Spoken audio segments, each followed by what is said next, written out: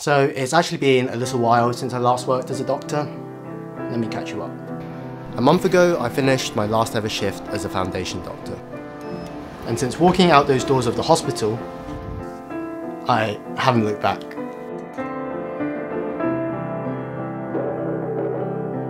I've been travelling. I've been hiking. been reunited with my girlfriend. I've been trying to lose all that weight that I gained while stress eating during foundation training. I've also had to say goodbye to Edinburgh. I've moved back home and uh, I'm back to scrounging off my parents again. Take fun away! Take fun! Take fun! Take fun way yes, take fun! Take fun away! I've taken Reading from the championship to the Champions League. I've been trying to find other uses for a stethoscope. And just generally being a degenerate. Oh, and uh, I've been looking through job vacancies. A lot of job vacancies. Once again, I am looking for A job. I've been looking at this website called Messly for locum work as a doctor, but I've also been kind of distracted by LinkedIn for opportunities outside of medicine. It's like on one shoulder, I've got an inner Asian parent telling me to just stick it out, be a good doctor, it's your calling in life. But on the other shoulder, I've got an inner finance bro telling me that I'm just worth more than this. I could be making more bread, more cash, more racks, more pee. Essentially, I think that maybe for the first time since leaving high school, I've had to take a step back and have a think about what I actually want to do with my life. Like when I was leaving school and I had the grades for medicine, I was always going to give med school a go. And once I got into med school, to be fair, it was like the best time of my life. And what am I going to do? Quit med school? I can smell the failure. And once you finish med school, the sensible decision in the UK anyway is to do two years of foundation training so that you get your full registration as a doctor. It makes the whole six years of med school worth it. And now I'm out the other end. But why am I having doubts now? Well, you just have to have one scroll through the junior doctor subreddit to have a quick glimpse about how fed up everyone is. Ooh, let's see what r slash junior doctors is talking about today. So, understaffed wards, yep, yep, been there. Frozen pay the past 10 years. Classic uh, lack of true training, yeah, yeah, yeah. Mid level creep, uh, if I speak, I'm in trouble. Um, workload, burnout, depression. That's enough med Reddit for today. When I scroll through LinkedIn, I see a lot of familiar faces from med school who have left behind their medical careers and have found new opportunities in consulting or health tech. When I scroll through Instagram, every other Instagram story that I click on is one of my UK doctor friends who have gone abroad to Australia or New Zealand. As soon as they finish FY training, they're going over there to work.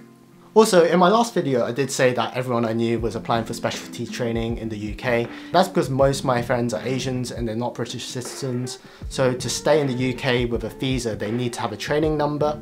And yeah, I'm definitely getting FOMO from most of my friends moving on in their medical careers, becoming an ST1, ST2, ST3, ST4. Like Hikari's an ST2 already, meaning specialty trainee year two. And she'll probably be an ST3, ST4, ST5 before I finally figure my shit out and decide whether I want to apply for training and become an ST1. And as you saw in the last video, I did apply for radiology training um, a few months ago, but I didn't get the radiology job that I wanted in Oxford. And there's only maybe seven spots a year for that one location and there's hundreds to thousands of people applying every year.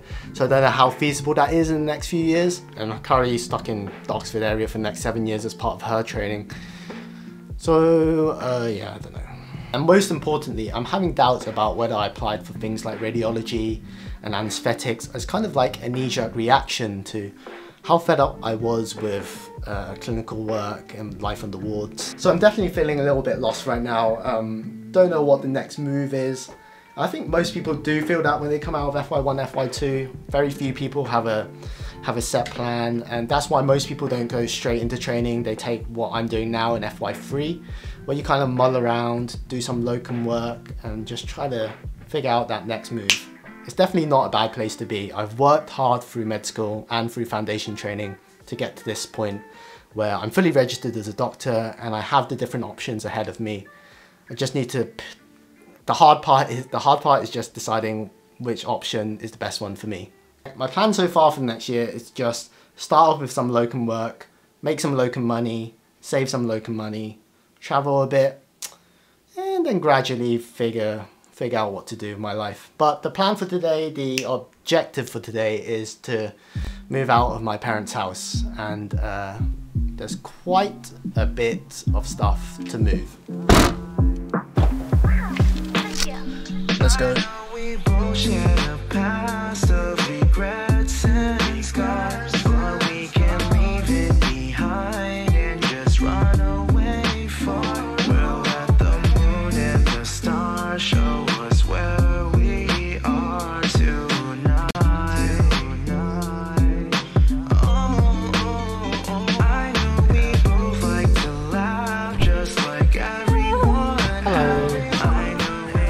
Your day?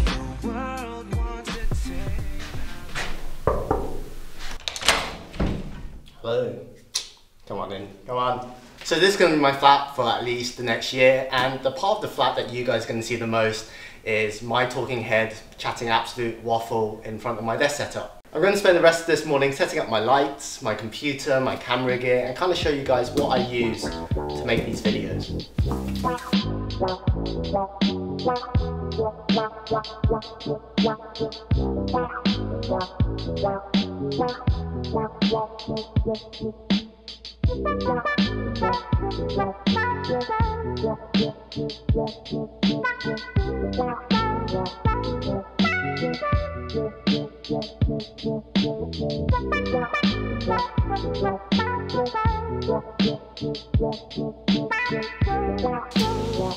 Yeah.